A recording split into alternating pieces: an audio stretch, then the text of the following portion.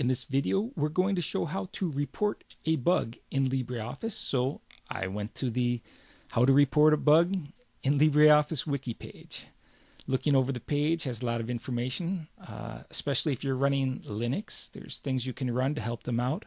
We are using Windows, so that that will not apply to us.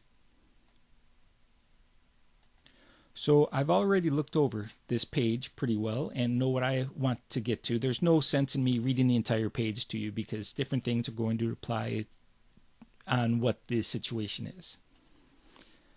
Going to the bug triage, I see this Bugzilla for LibreOffice.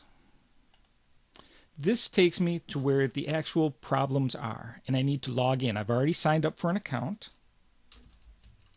The Frugal Computer Guy, Gmail signing in or logging in.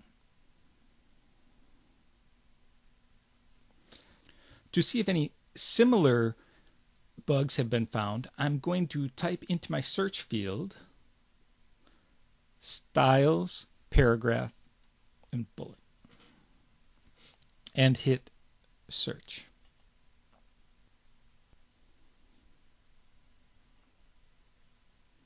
Now, you can see I've already looked at two of them. This one here looks pretty similar.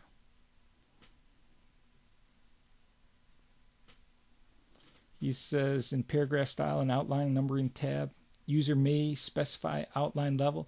Going down, he's saying look at the example, it can be done. So I'm not sure if this is the one I want to go with.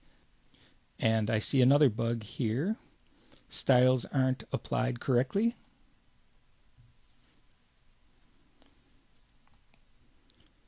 Looking over the descriptions, this looks just like what I was finding. So I am going to add my comments to this bug right here. And to do that, I'm going to type something into the additional comments.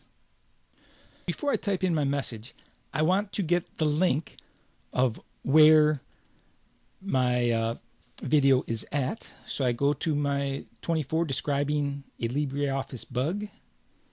I want to go down to share and I'm going to copy this HTTP that that link, that short link for the video and place it in here. Now I've already typed up a little brief message. I'm going to paste it in here. And I also want to be CC'd on any messages. Anyone else that comments on this, I want to get an email. So I'm clicking this little checkbox. I believe that looks good. And when I click save, should add my note down at the bottom.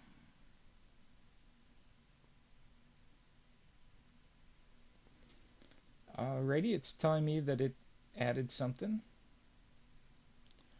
bringing back up the message. And here it is the frugal computer guy at gmail.com. And there's my message, there's my link. So we should be all set. We will see what the people at the Document Foundation say about this problem. Also, quick note there'll be no video update next weekend. I'm way overcommitted, so it'll be about two weeks, and I should be picking up with styles and we'll continue with the tutorials.